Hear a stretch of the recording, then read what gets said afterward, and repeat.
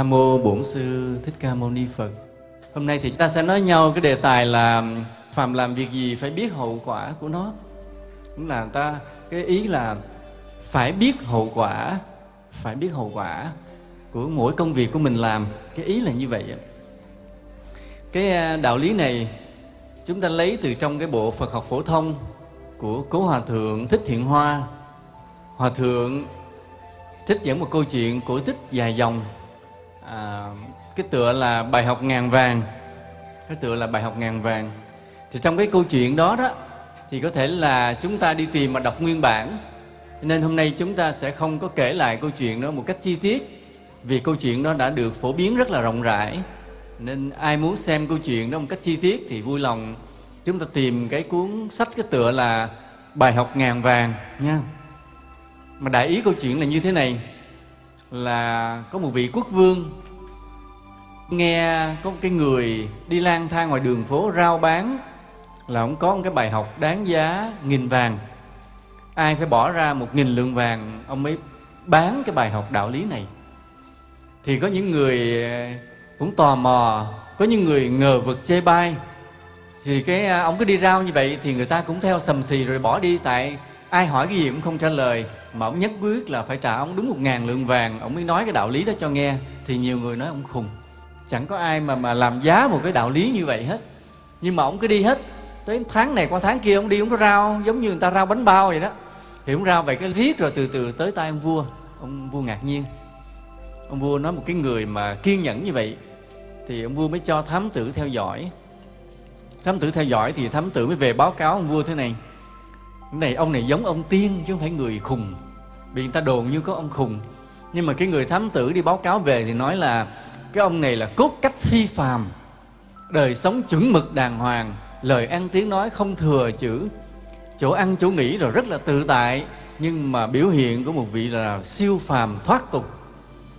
Do cái người thám tử cứ đi theo dõi về báo cáo riết, mà hỏi ông làm gì, ông cứ nói ông rao bán cái bài học giá là một nghìn lượng vàng riết rồi cái ông vua cứ nghe báo cáo, cái người thám tử theo điều tra báo cáo riết ông vua ngạc nhiên.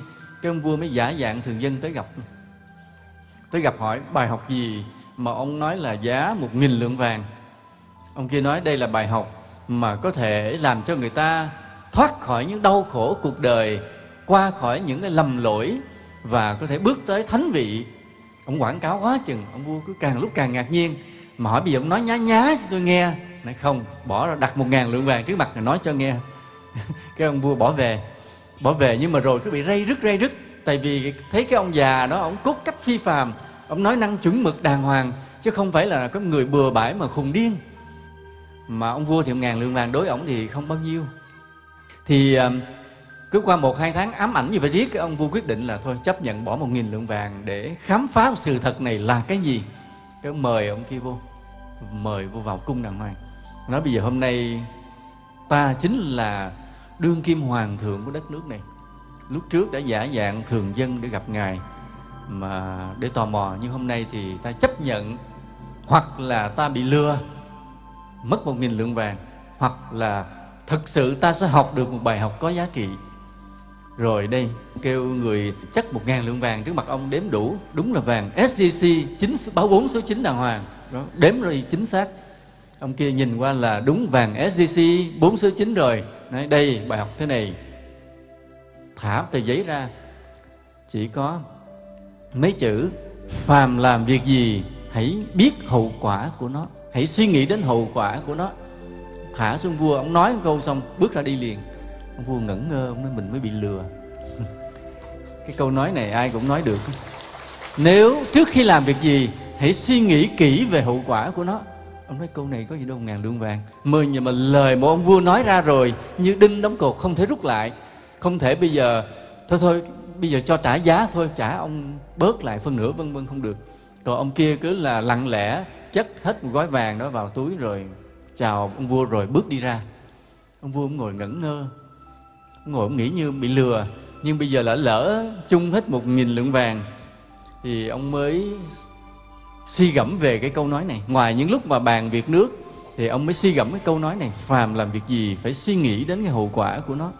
Cái câu đó bắt đầu ám ảnh ông. Sự thực, nếu mà ông mua cái này á, là chỉ có một lượng vàng, ông quên câu đó liền. Nhưng mà bởi vì ông mua tới một nghìn lượng vàng, cho nên ông bị vừa tức vừa tiếc.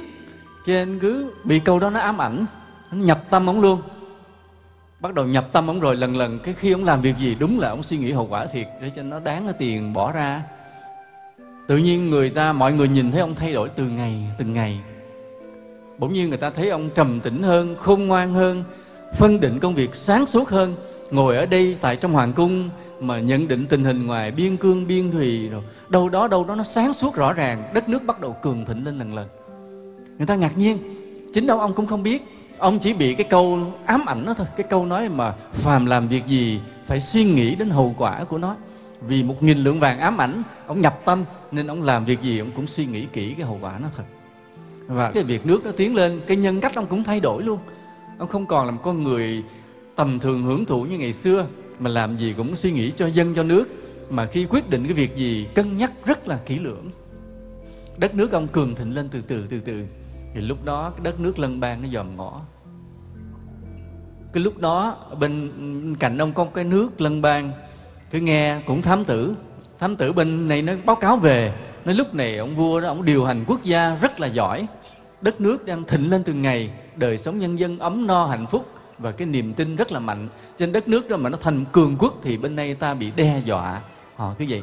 Những nhà làm chính trị thì lúc nào cũng sợ người khác mạnh hơn mình ông vua nước lân bang mới hỏi việc điều tra coi, tại sao trước đem đất nước đó vẻ bình thường, tầm thường, mà ngày hôm nay nhờ bí quyết gì mà mạnh lên như vậy? Thì ông thám tử, ba tháng sau chạy về báo cáo, nói là có một ông tiên đến dạy cho ông vua đó một cái bí quyết trị nước mà bí mật không nói ra, mà ông vua đó phải mua hết một nghìn lượng vàng. Cái ông vua, ông này nói, nếu mà hắn mua được cái đó nguyên lượng vàng, ta sẽ đem quân qua, ta đánh tan nước đó, ta cướp cái đó.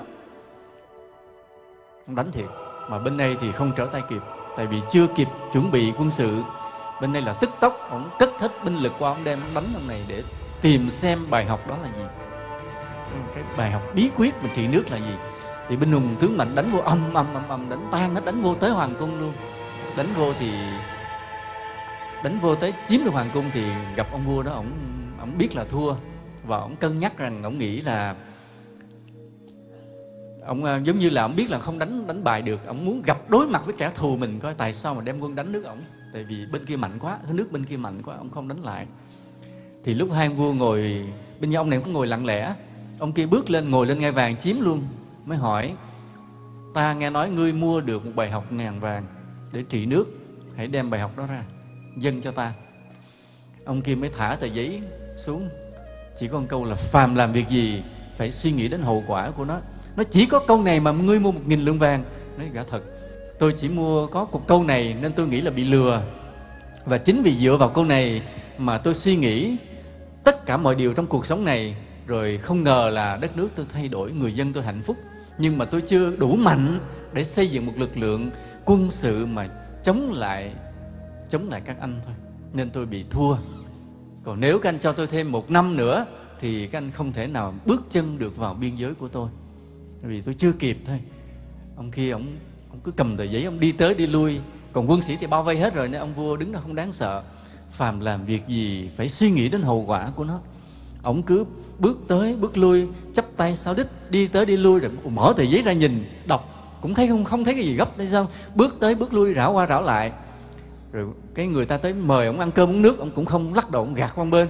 Ông đi tới đi lui ông suy nghĩ cái câu này có cái gì bí mật mà làm cho cái cái ông vua kia bỏ một nghìn lượng vàng mà làm cho đất nước cường thịnh lên mà ông dám thách là một năm nữa thôi thì mình, mình không thể đánh ông nổi.